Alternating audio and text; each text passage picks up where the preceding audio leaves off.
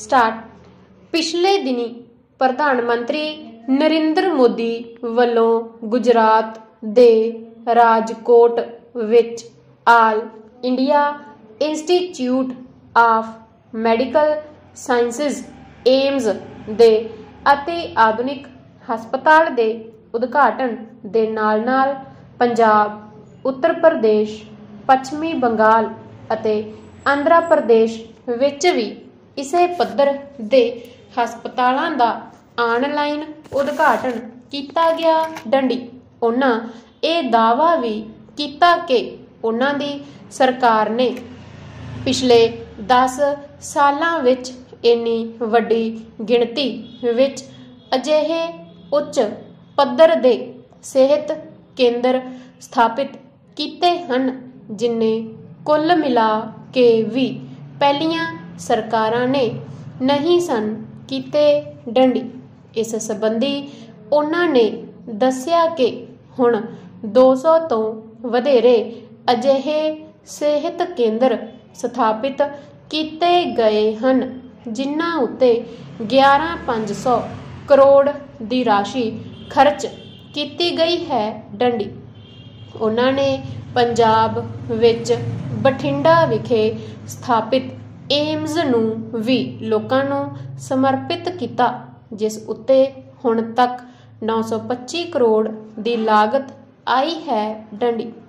ਚਾਹੇ ਹੁਣ ਇਹ ਸਿਹਤ ਕੇਂਦਰ ਮੁਕੰਮਲ ਹੋ ਗਿਆ ਹੈ ਅਤੇ ਇਸ ਵਿੱਚ ਬਹੁਪੱਖੀ ਸਿਹਤ ਸਹੂਲਤਾਂ ਮੁਹੱਈਆ ਕੀਤੀਆਂ ਜਾਣ ਲੱਗੀਆਂ ਹਨ, ਪਰ ਇਸ ਹਸਪਤਾਲ ਦੀ ਸਥਾਪਨਾ ਲਈ ਪੰਜਾਬ ਦੀਆਂ ਪਹਿਲੀਆਂ ਸਰਕਾਰਾਂ ਵੀ ਯਤਨਸ਼ੀਲ ਰਹੀਆਂ ਹਨ। ਡੰਡੀ ਸਰਦਾਰ ਪ੍ਰਕਾਸ਼ ਸਿੰਘ ਬਾਦਲ ਦੇ ਮੁੱਖ ਮੰਤਰੀ ਹੁੰਦਿਆਂ ਉਹ ਲਗਾਤਾਰ ਇਹ ਕੇਂਦਰ ਖੁਲਵਾਉਣ ਲਈ ਕੰਮ ਕਰਦੇ ਰਹੇ ਸਨ। ਡੰਡੀ ਬੀਬਾ ਹਰਸਿਮਰਤ ਕੌਰ ਬਾਦਲ ਦਾ ਵੀ ਇਸ ਵਿੱਚ ਵੱਡਾ ਯੋਗਦਾਨ ਰਿਹਾ ਹੈ। ਡੰਡੀ ਇਸ ਦੇ ਨਾਲ ਹੀ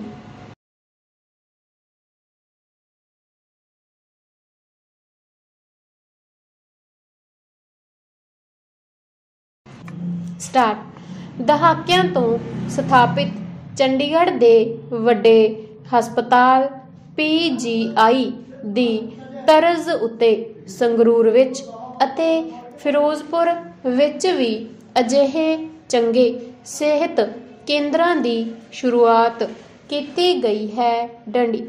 ਸਾਂਝੇ ਪੰਜਾਬ ਵਿੱਚ ਵੀ ਸ਼ੁਰੂ ਤੋਂ ਹੀ ਪ੍ਰਾਂਤਕ ਸਰਕਾਰਾਂ ਨੇ ਲੋਕਾਂ ਨੂੰ ਸਿਹਤ ਸਹੂਲਤਾਂ ਪ੍ਰਦਾਨ ਕਰਨ ਲਈ ਸੂਬੇ ਭਰ ਵਿੱਚ ਡਿਸਪੈਂਸਰੀਆਂ ਅਤੇ ਹਸਪਤਾਲ ਖੋਲ੍ਹਣ ਲਈ ਕਾਫੀ ਯਤਨ ਕੀਤੇ ਸਨ, ਜੋ ਲਗਾਤਾਰ ਜਾਰੀ ਵੀ ਰਹੇ ਸਨ ਡੰਡੀ। ਇਹਨਾਂ ਡਿਸਪੈਂਸਰੀਆਂ ਅਤੇ ਹਸਪਤਾਲਾਂ ਰਾਹੀਂ ਸਿਹਤ ਸਹੂਲਤਾਂ ਪ੍ਰਦਾਨ ਕੀਤੀਆਂ ਜਾਂਦੀਆਂ ਰਹੀਆਂ ਹਨ, ਪਰ ਇਹਨਾਂ ਦੀ ਗਿਣਤੀ ਸੀਮਤ ਹੋਣ ਕਾਰਨ ਅਤੇ ਬਾਅਦ ਵਿੱਚ ਸਰਕਾਰਾਂ ਦੀ ਅਣਗਹਿਲੀ ਕਾਰਨ ਅਕਸਰ ਇਹਨਾਂ ਵਿੱਚ ਦਵਾਈਆਂ ਅਤੇ ਸਟਾਫ ਦੀ ਘਾਟ ਬਣੀ ਰਹਿਣ ਕਾਰਨ ਲੋਕ ਇਹਨਾਂ ਤੋਂ ਪੂਰੀ ਤਰ੍ਹਾਂ ਸੰਤੁਸ਼ਟ ਨਹੀਂ ਸਨ ਡੰਡੀ। ਇਹੀ ਇੱਕ ਕਾਰਨ ਸੀ ਕਿ ਸੂਬੇ ਭਰ ਵਿੱਚ ਨਿੱਜੀ ਹਸਪਤਾਲਾਂ ਦੀ ਗਿਣਤੀ ਵੱਧਦੀ ਗਈ ਡੰਡੀ। ਸਰਕਾਰੀ ਸਿਹਤ ਸੇਵਾਵਾਂ ਦੇ ਨਾਲ-ਨਾਲ ਅਨੇਕਾਂ ਹੀ ਧਾਰਮਿਕ ਅਤੇ ਸਮਾਜਿਕ ਸੰਗਠਨਾਂ ਵੱਲੋਂ ਵੀ ਆਪਣੇ ਪੱਧਰ ਉੱਤੇ ਇਸ ਖੇਤਰ ਵਿੱਚ ਲਗਾਤਾਰ ਯਤਨ ਕੀਤੇ ਜਾਂਦੇ ਰਹੇ ਹਨ। ਪਰ ਇਹ ਸਰਕਾਰੀ ਸਿਹਤ ਸੇਵਾਵਾਂ ਹਰ ਪੱਖੋਂ ਉਸ ਪੱਧਰ ਉੱਤੇ ਨਾ ਪੁੱਜ ਸਕੀਆਂ, ਜਿਨ੍ਹਾਂ ਦੀ ਆਮ ਲੋਕ ਤਵੱਕੋ ਕਰਦੇ ਸਨ। ਡੰਡੀ, ਅੱਜ ਵੀ ਸਰਕਾਰੀ ਸਿਹਤ ਕੇਂਦਰਾਂ ਵਿੱਚ ਸਹੂਲਤਾਂ ਦੀ ਵੱਡੀ ਘਾਟ ਰੜਕ ਰਹੀ ਹੈ। ਡੰਡੀ, ਕੇਂਦਰ ਵੱਲੋਂ ਇਸ ਖੇਤਰ ਵਿੱਚ ਗੈਰ ਸਰਕਾਰੀ ਹਸਪਤਾਲਾਂ ਤੋਂ ਲੋਕਾਂ ਨੂੰ ਇਲਾਜ ਦੀਆਂ ਸਹੂਲਤਾਂ ਮੁਹੱਈਆ ਕਰਨ ਲਈ ਆਯੁਸ਼ਮਾਨ ਯੋਜਨਾ ਦੀ ਸ਼ੁਰੂਆਤ ਕਰਕੇ ਵੀ